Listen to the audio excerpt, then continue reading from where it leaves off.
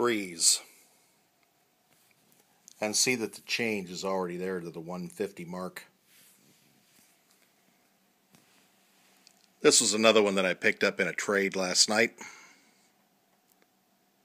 The flips, flip threes, no, they're not new, they're the older ones. Dead stock, yes, size 12, my size. The black ones are also nice. These are the whites, of course.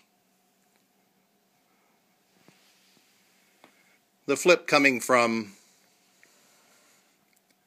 usually you would see the elephant on the heel and the toe area and then leather on the top. In this case it's reversed leather on the heel and toe and flipped over all elephant on the shoe.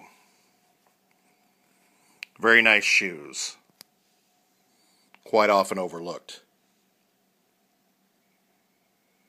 To find a dead stock pair these days is a little bit difficult, yet not impossible if you keep your eyes open.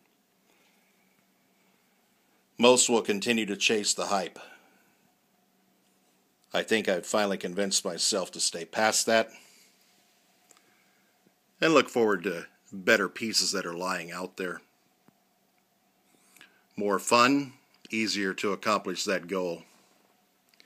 There will still be a few I'll go after. Overall, let the fiends have them. I'll go get the dregs. And if things like a Flip 3 and a Mars 4 are the dregs, I'm good with that.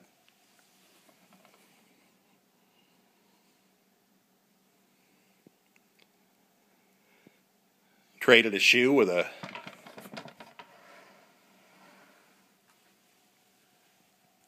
a little bit newer, a little bit of a hype to it, but not really overall. In this case, it was a good trade for both fellows.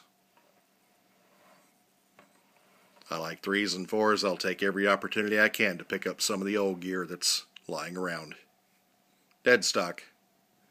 Just needing a home. Always good to have two or three pairs of each of these.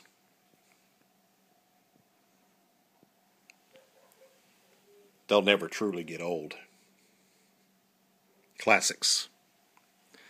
As always, you can find me at samcolt12.com, Google Plus, Instagram, and video as well. This week we saw the Foamposites land. Foamposite Low Air Force Ones, that is, from last week's pack.